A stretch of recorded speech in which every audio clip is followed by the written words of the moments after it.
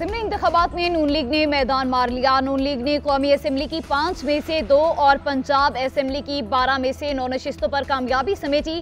IPP काफ league और peoples party Punjab assembly की एक एक सीट जीतने में कामयाब।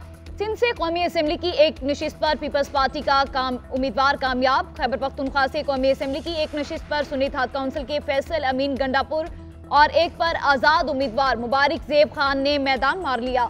केपी के सूबाई असम्बली की दो सीटों में से एक पर सुनीत हाथ काउंसिल और एक पर आज़ाद उम्मीदवार कामयाब।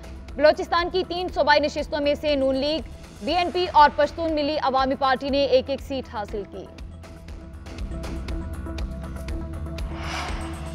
वज़ीर अजम शहबाज शरीफ की जीतने वाले उम्मीदवारों को मुबारकबाद कहा जिमनी इलेक्शन में मुस्लिम लीग नून के नौ मुंतब अरकान की जीत अवाम के अहतमाद का मजहर है।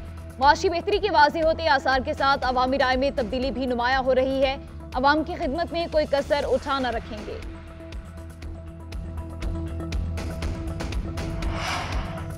और न्यूजीलैंड ने तीसरे टी ट्वेंटी में पाकिस्तान को सात विकेटों से शिकस्त दे दी। पाकिस्तान टीम ने पहले खेलते हुए चार विकेटों पर 178 रन बनाए। मेहमान टीम ने मतलूबा हदफ 19वें ओवर में तीन विकेटों पर पूरा कर लिया। मार्क चैंपियन 42 गेंदों पर सतासी रन बनाकर नाकाबले शिकस्त रहे।